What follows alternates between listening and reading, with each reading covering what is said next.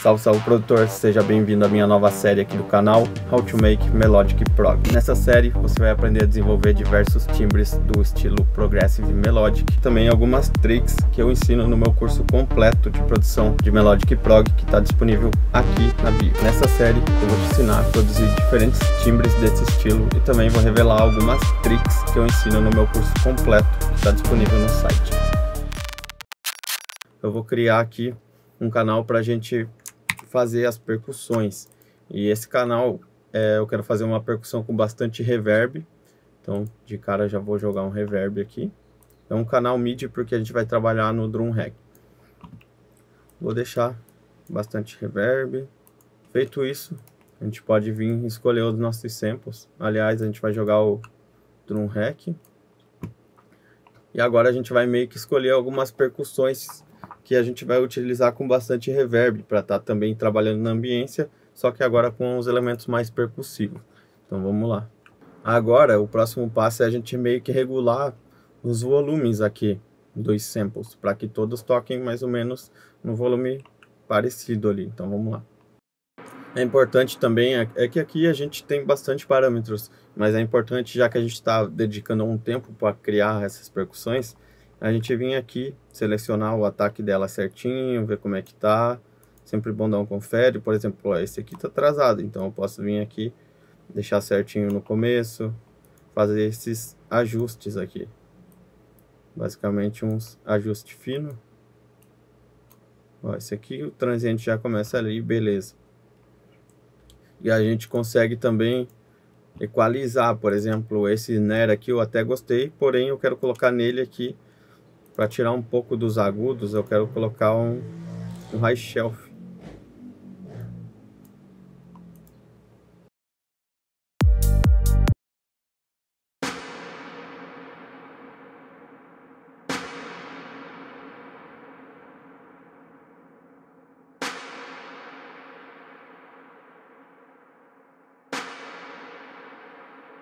Deixar ele mais filtradinho mesmo ali. Eu acho que talvez Acho que talvez até um high cut.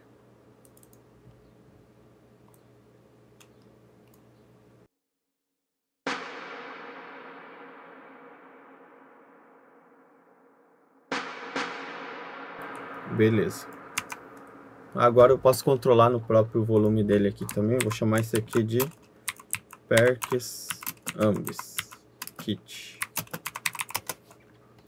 que aí eu sei que no MIDI eu vou desenhar basicamente onde que eles vão tocar certinho, e eu sei que aqui é um kit que tem quatro percussão aqui, ou até mais.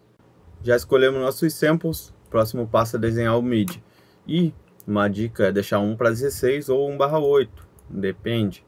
Então, vamos testar um para 16 aqui. Já criei um MIDI até que grandinho. E outro detalhe também, já vamos jogar um LFO Tool jogar no final aqui da cadeia de plugins, depois a gente testa. Para também ir encaixando no groove, mesma coisa lá dos, dos outros. Vamos ver onde que vai ficar legal agora as packs.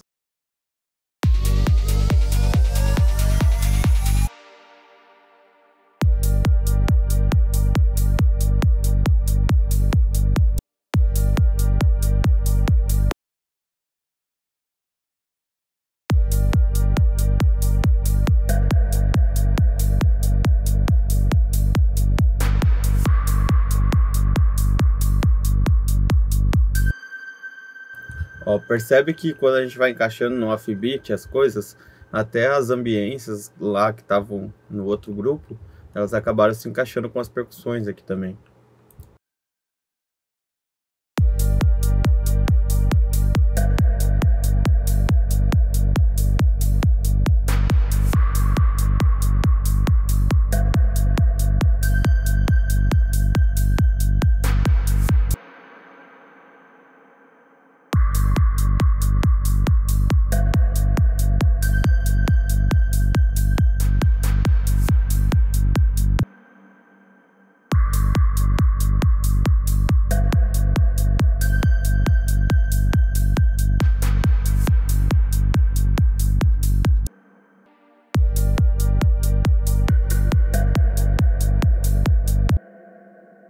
Essas outras aqui de baixo ainda não gostei.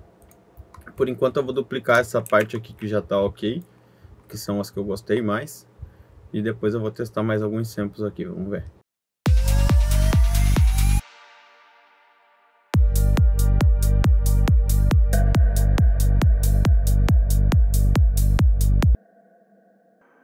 Ó, aqui, por exemplo, a gente pode fazer parte A, parte B, parte A, parte C, variando aqui os, os samples. Então vamos ver como que a gente consegue fazer isso, por exemplo.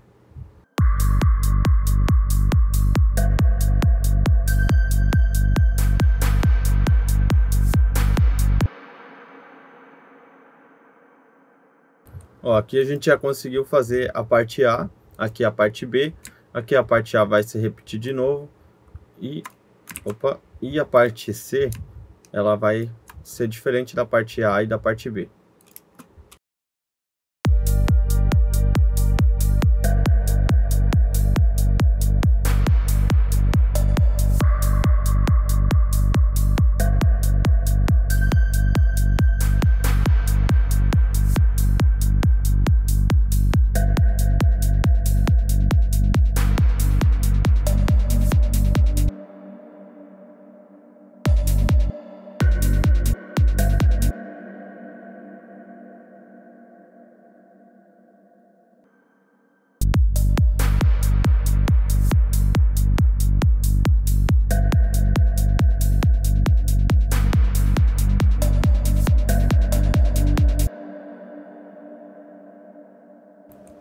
aqui, percebe que eu ouço bastante vezes, que é para deixar realmente o lugar do grid encaixado certinho, não ficar nada estranho e tudo se encaixar com os outros elementos também da música. Então, eu ouço várias vezes, vou testando em lugares diferentes e isso é de suma importância também.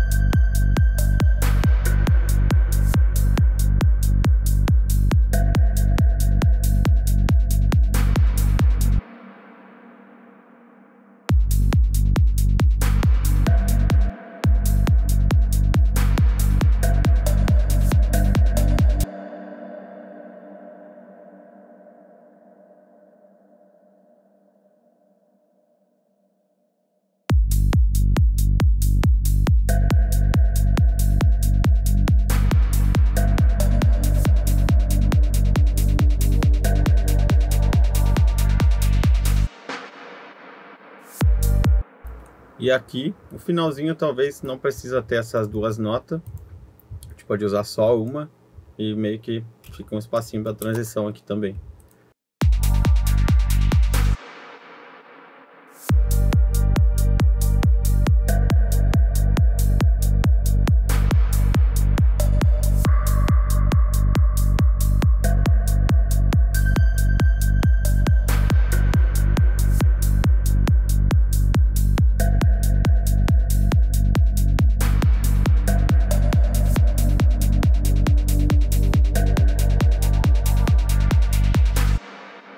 Você quiser aprender mais técnicas como essa de Melodic Prog, clique agora no link que está aqui na descrição desse vídeo e a gente se vê no lado de dentro. Valeu!